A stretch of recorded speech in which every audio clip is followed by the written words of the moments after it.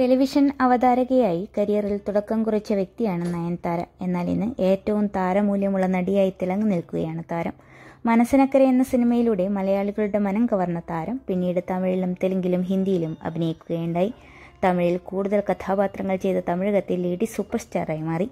കരിയറിലെ മികച്ച ഘട്ടത്തിലൂടെ കടന്നു പോകുമ്പോഴായിരുന്നു സംവിധായകൻ വിഘ്നേഷ് ശിവനുമായി പ്രണയത്തിലാവുന്നത്. ഏഴു വർഷത്തോളം പ്രണയിച്ച് രണ്ടായിരത്തി ഇരുപത്തിരണ്ടിൽ ഇരുവരും വിവാഹിതരാവുകയും ചെയ്തു. രണ്ടായിരത്തി ഇരുപത്തിരണ്ട് ഒക്ടോബറിൽ ഇവർക്ക് ഇരട്ട കുഞ്ഞുങ്ങൾ പിറക്കുകയും ചെയ്തു. കുഞ്ഞുങ്ങളായ ഉലകും ഉയരും വന്നതോടെ നയൻസിന്റെയും വിഘ്നേഷിന്റെയും ജീവിതത്തിൽ ആഘോഷങ്ങൾക്കുള്ള പൊലിമ കൂടി തുടങ്ങി എല്ലാ ആഘോഷങ്ങളും ഗംഭീരമായി ആഘോഷിക്കുന്നവരാണ് നയൻതാരയും വിക്കിയും. കുഞ്ഞുങ്ങൾ വന്നപ്പോഴുള്ള ഓണവും വിഷുവുമൊക്കെ ഗംഭീരമായി ആഘോഷിച്ചിരുന്നു. എന്നാൽ കുഞ്ഞുങ്ങളുടെ ആദ്യ ക്രിസ്മസ് മൂന്ന് മാസമായതിനാൽ ഗംഭീരമായി ആഘോഷിക്കാൻ ഇവർക്ക് സാധിച്ചില്ല. ഈ വർഷം ഗംഭീരമാക്കാൻ നയൻതാരയുടെ കൊച്ചിയിലെ വീട്ടിൽ മാതാപിതാക്കളോടൊപ്പം ആഘോഷിക്കാൻ എത്തിയിരിക്കുകയാണ് നയൻതാരയും കുടുംബവും. നയൻതാരയുടെ അച്ഛൻ വാർദ്ധക്യ സഹജമായ അസുഖത്തെ തുടർന്ന് കിടപ്പിലായതിനാൽ അമ്മയുമൊത്തുള്ള ക്രിസ്തുമസ് ആഘോഷത്തിന്റെ ചിത്രങ്ങളാണ് നയൻതാരയും വിഘ്നേശ്വനും സോഷ്യൽ മീഡിയയിൽ പങ്കിട്ടിരിക്കുന്നത്.